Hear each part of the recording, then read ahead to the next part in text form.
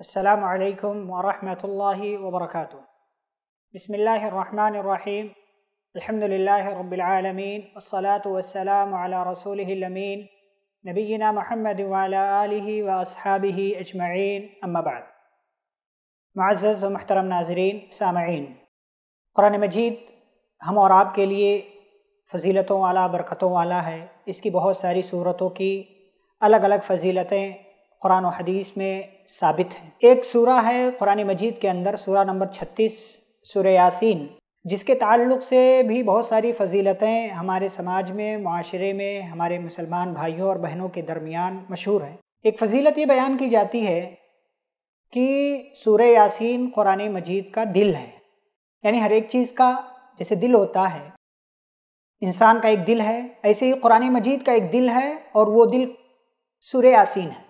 तो सबसे पहली बात इस हवाले से ये कि इस बात की हकीकत के लिए लोग दलील पेश करते हैं सुनन तिरमिज़ी की हदीस नंबर दो हज़ार आठ सौ सतासी टू डबल एट सेवन जिस हदीस के अंदर यह है इन लिकुल्ल इन कल्बन व कल्बुल्कुरान यासीन। हर चीज़ का एक दिल होता है और कुरान का दिल सुर यासीन है। वमन करा यासीन और जो सुर यासीन पढ़े कतब अल्लाह बक़रातिहा क़रातुल्कुरान अशर मर्रात।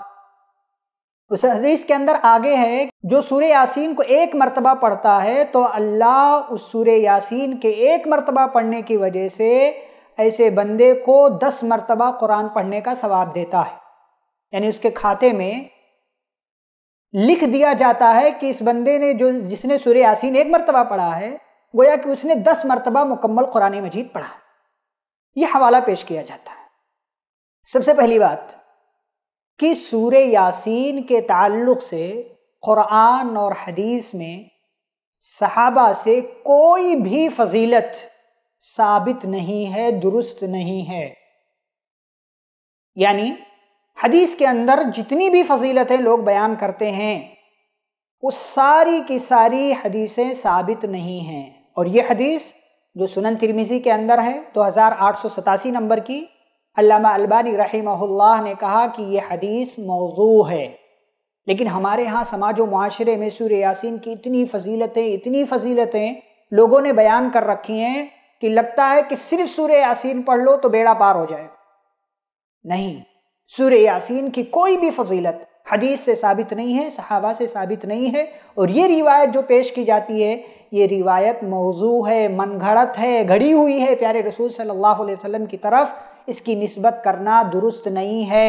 और नबी अकरम सल्लल्लाहु अलैहि वसल्लम ने फरमाया, मन कदब अलैया मुतअम्मिदन फलियतबव्व मक़अदहु मिनन्नार कि अगर कोई मेरे ताल्लुक़ से कोई ऐसी बात बयान करता है जो मैंने नहीं कही है, जानबूझकर ऐसा करता है तो वो अपना ठिकाना जहन्नम में बना ले। इसलिए मेरे भाइयों, बुज़ुर्गों, मोहतरम नाजरीन, इस्लामी बहनों, हम और आपको समझना चाहिए मुकम्मल कुरान मजीद हमारे लिए शिफा है, रहमत है और बरकत का ज़रिया है। आप मुकम्मल कुरान मजीद पढ़ें इन उसका सवाब आपको मिलेगा। अल्लाह की तरफ़ से बरकतें हासिल होंगी।